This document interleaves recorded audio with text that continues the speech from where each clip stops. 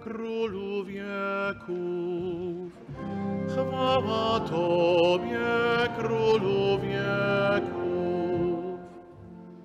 Zabiorę się i pójdę do mego Ojca i powiem, Ojcze, zgrzeszyłem przeciw niebu i względem Ciebie. Chwała Tobie, Królu wieków. Pan z wami. I z duchem Twoim. Słowa Ewangelii według świętego Łukasza. Chwała Tobie, Panie. W owym czasie zbliżyli się do Jezusa wszyscy celnicy i grzesznicy, aby go słuchać. Na to szemrali faryzeusze i uczeni w piśmie. Ten przyjmuje grzeszników i jada z nimi. Opowiedział im wtedy następującą przypowieść. Pewien człowiek miał dwóch synów. Młodszy z nich rzekł do ojca: Ojcze, daj mi część majątku, która na mnie przypada. Podzielił więc majątek między nich. Niedługo potem młodszy syn, zabrawszy wszystko, odjechał w dalekie strony i tam roztyrfonił swój majątek, żyjąc rozrzutnie.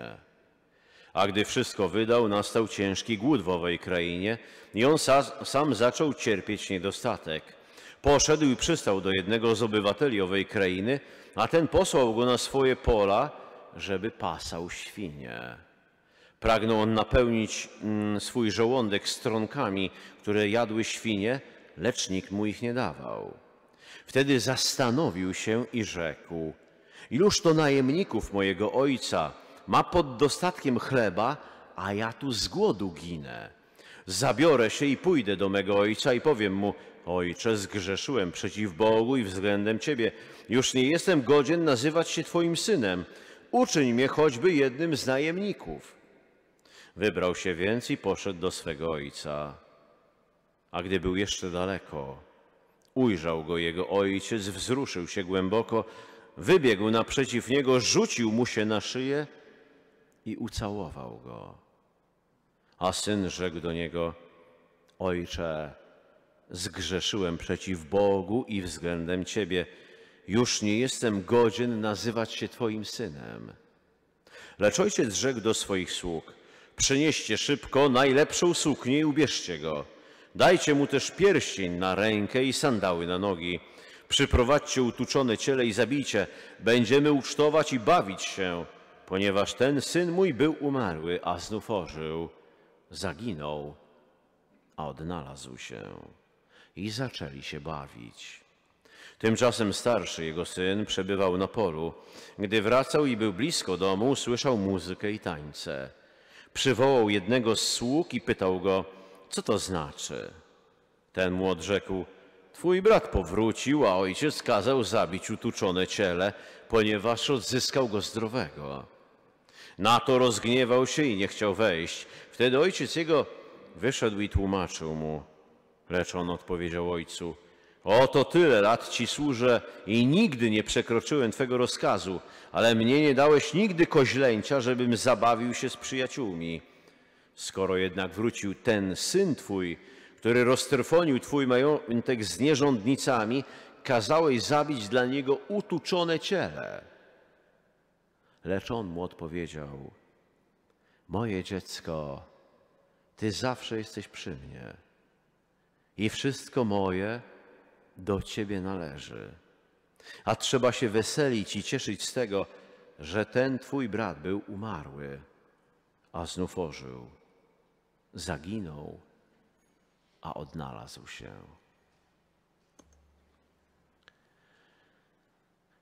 Oto słowo Pańskie. Chwała Tobie, Chryste.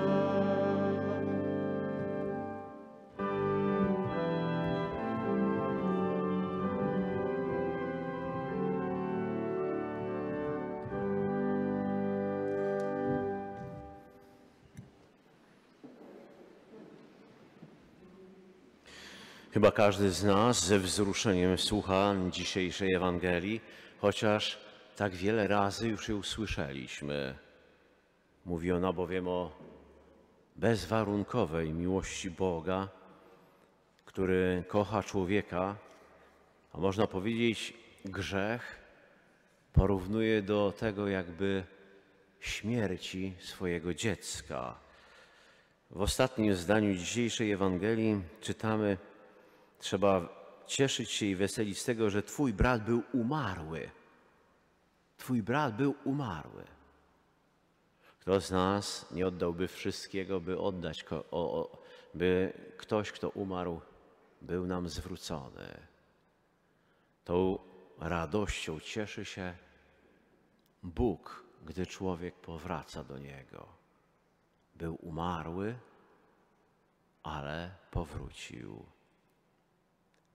Bardzo dobrze, tak mi się wydaje, jakoś tajemnicę dzisiejszej Ewangelii oddaje takie również opowiadanie, które gdzieś w jakiś sposób przybliża nam tą Bożą miłość i to w jaki sposób Bóg patrzy na każdego z nas.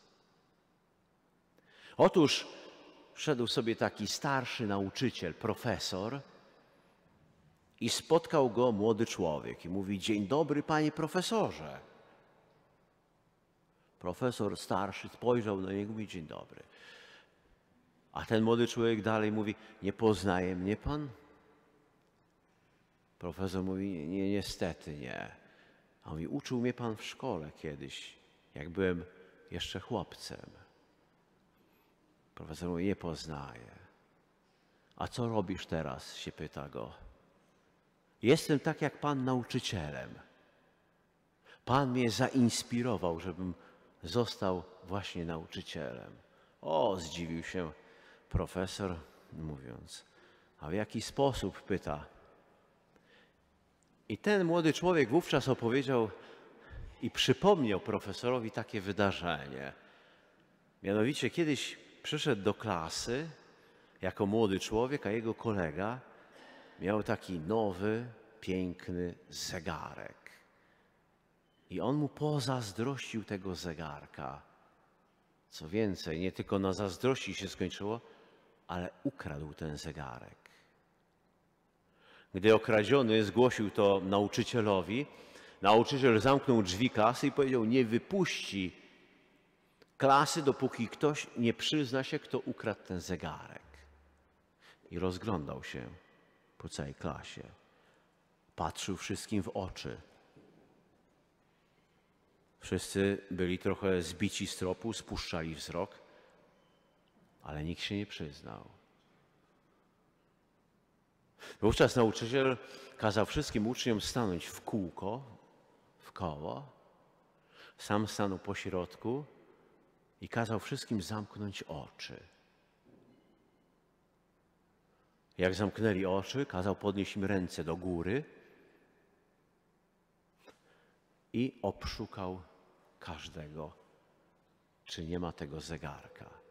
W pewnym momencie znalazł ten zegarek, ale nie zaprzestał poszukiwania, aż obszukał wszystkich dookoła. Gdy już skończył to przeszukiwanie, powiedział: Opuśćcie ręce i otwórzcie oczy. Wszyscy otworzyli oczy, a profesor pokazał im zegarek. A ktoś jeden zapytał, kto go ukradł? A profesor powiedział: Wracajcie na miejsce, a zegarek oddał temu okradzionemu. I ten uczeń, po latach wspominając to do tego profesora, mówi: Wówczas ocalił Pan moją godność. Wówczas nikt nie dowiedział się, że jestem złodziejem. I wówczas postanowiłem sobie, że nigdy w życiu nic nie ukradnę. I że właśnie będę chciał być taki jak Pan. A ten nauczyciel odpowiedział mu tak. Pamiętam to wydarzenie, ale nie wiem, kto ukradł ten zegarek.